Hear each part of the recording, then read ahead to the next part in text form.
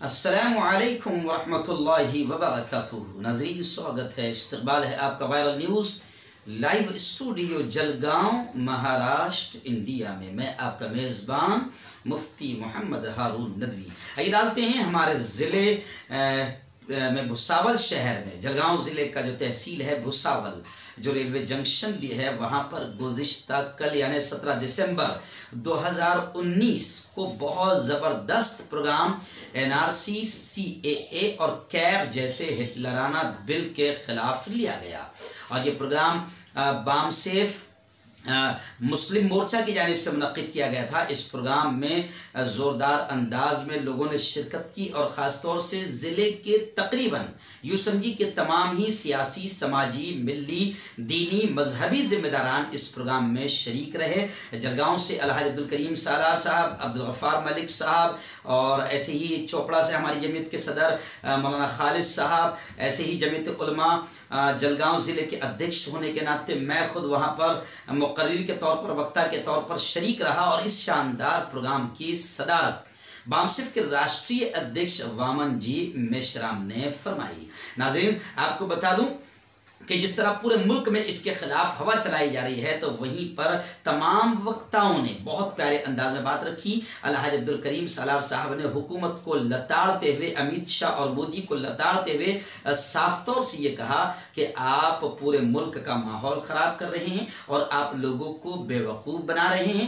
آپ بنگلہ دیش اور پاکستان میں الپ سنکھیان پر ظلم کی بات کرتے، کر کے ملک کے ہندوؤں کو آپ یوں سمجھیے کہ بے وقوف بنانے کی کوشش کوشش کر رہے ہیں، مسلمانوں کو، دلت کو بودھ کو، جین کو، کرسچن کو، برہمن کو، آپ سب کو بے وقوف بنا رہے ہیں۔ اور بڑے پیر انداز میں عبدالکریم سالار صاحب نے تفصیلی گفتگو فرمائی۔ وہیں پر الحاج عبدالغفار ملک صاحب نے بھی کھل کر اس بات کو کہا کہ سنو امیت شاہ، یہ کسی کے باپ کا، تمہارے باپ کا ملک نہیں ہے۔ وہیں پر اس پروگرام میں بہت ہی پیارے انداز میں مولانا خالد صاحب نے بھی اپنی بات رکھی اور ملک کے حالات کو پیش کرتے ہوئے مولانا خالد صاحب نے فرمایا کہ پورے ملک کو اصل وکاس کے مدوں سے ہٹا کر ان غیر ضروری مدوں میں الجھا کر رکھا جا رہا ہے۔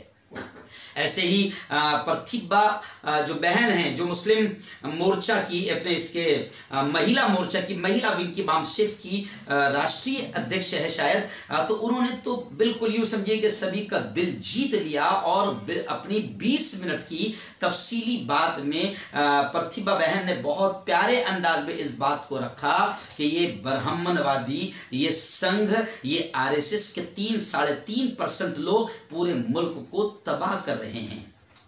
اور انہوں نے مسلمانوں سے اپیل کی کہ آپ مظلوموں کا ساتھ دو۔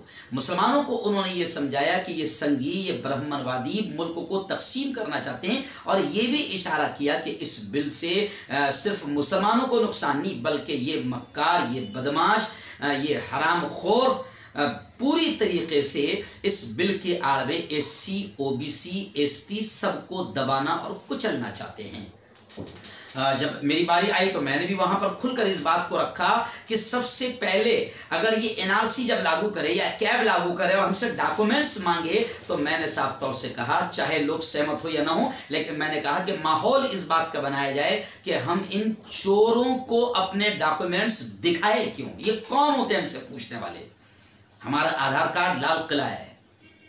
ہماری پہچان پتر تاج محل ہے۔ ہم نے اس ملک کو دیا ہے، سجایا ہے سوارا ہے۔ ان چوروں نے کچھ نہیں دیا جو آج ہم سے شہریت کا ثبوت مانگ رہے خیر، وہ میری پوری تقریب بھی یوٹیوب پر صبح ہی آ گئی ہے۔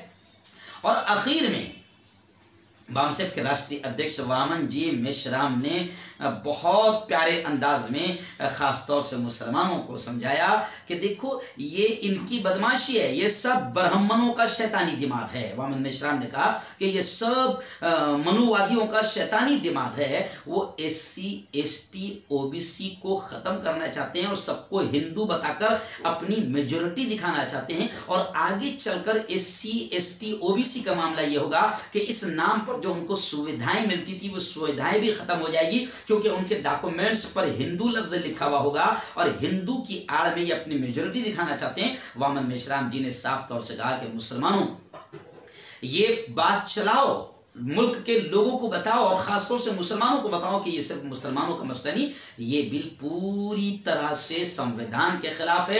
یہ ملک کو بانٹنے کی، ملک کو تقسیم کرنے کی کوشش کر رہے ہیں۔ یہ ہندو راشٹر بنانے کی کوشش کر رہے ہیں اور کسی بھی طریقے سے ہم اس کو ہندو راشٹر بننے نہیں دیں گے۔ اس شاندار پروگرام کو سجانے میں سوارنے میں مسلم مورچہ کے مولانا فیروز صاحب، ایسے ہی بساول کے انیس احمد عرف انو بھائی اور ان کی پوری ٹیم، ہو سکتا ہے کہ سب سب کے نام مجھے یاد نہ ہوں، لیکن میں وائرل نیوز لائیو کی جانب سے مسلم مورچہ کی اور بام سیف کی جلہ کی پوری ٹیم کو یہاں پر میرے پاس میں آئے تھے ڈاکٹر شاکر اور ایسے ہی اہیر سر۔ میں ان تمام کو دل کی گہرائیوں سے مبارکباد دیتا ہوں کہ ایک بہترین پروگرام آپ نے سجایا۔ سوارا اور آپ محنت کر رہے ہیں جاگروکتا کرنے کی، بیدار کرنے کی لوگوں کو بہت بہت دلی مبارکباد۔ اور انشاءاللہ اب یہ ملک جاگ رہا ہے، ضرور جاگے گا۔ اور اب ایسا لگتا ہے کہ کالے بادل چھٹے گے، اندھیرا چھٹے گا اور اچھے دن آئیں گے۔ کیونکہ انہوں نے شرارت کر کے اب سبھی لوگوں کو جگا دیا ہے۔ اور مودی سرکار کو ہم یہ کہیں گے اور سنگھیوں کو بھی یہ کہیں گے بامسف کے ذریعے سے جو پیغام کل دیا گیا کہ آپ آپ یہ نہ سمجھو کہ آپ اپنی دلال میڈیا کے ذریعے سے یہ دکھانے میں کامیاب ہو گئے ہو کہ اس کا مسلمانوں سے تعلق ہے نہیں۔ اب ملک کا S C S T O B C سب سمجھ چکا ہے۔ تمہاری چالوں کو، تمہارے منصوبوں کو اور زیادہ دنوں تک کے اب یہ مکاری نہیں چلے گی۔ پارٹی کے president, national president Amit Shah نے بیان دیا۔ کیونکہ اس سمے امیت شاہ پارٹی پریسیڈنٹ تھے ہوم منسٹر نہیں تھے۔ دو ہزار سترہ میں۔ پارٹی پریسیڈنٹ کے طور پر انہوں نے بیان دیا کہ ہاں ہم ان کو ناگرکتا دیں گے۔ ہندوؤں کو ناگرکتا دیں گے۔ لوگ ہیں S C S T O B C کے۔ ناگرکتا دیں گے ہندو کے نام پر۔ یہ بات بھی مسلم لوگوں کو سمجھ میں نہیں آتی یہ معاملہ ہے کیا؟ کیونکہ یہ معاملہ ہمارا ہے اس لیے آپ لوگوں کو اس کی باریکیاں سمجھ میں نہیں آتی۔ یہ S C S T O B C کے لوگ ہندو نہیں ہیں۔ میں کتنی بار مسلم لوگوں کو کہہ چکا ہوں۔ مسلم لوگ ماننے کے لیے تیار نہیں ہے مسلم ایسا مانتے ہیں، جو مسلم نہیں ہے، وہ ہندو ہے۔ بات جھنجٹ ختم ہے کچھ زیادہ سوچنے کی ضرورت جو مسلم نہیں ہے، وہ ہندو ہے۔ تھوک کے بھاؤ میں اس کے بارے میں بہت زیادہ چنتن منتن جھنجٹ میں نہیں پڑتے جو مسلم نہیں ہو ہندو ہے۔ بس جھنجٹ ہم کو زیادہ سوچنے کی ضرورت نہیں۔ مگر یہ بات صحیح نہیں ہے، یہ بہت زیادہ سیریس بات ہے، بہت زیادہ گمبھیر بات ہے۔ شیڈول کاسٹ یہ جو شبد ہے، نائنٹین تھرٹی فائیو میں second India act, Baba Saheb Ambedkar نے اس کو نام رکھا، شیڈول کاسٹ۔ اس کا برہمن دھرم شاستر کے انوسار نام ہے اچھوت۔ اچھوت کا مطلب ہے جو چھونے لائق لوگ نہیں۔ اس کی سنکھیا آج بیس بائیس کروڑ سے زیادہ ہے۔ بھارت۔ یوروپ میں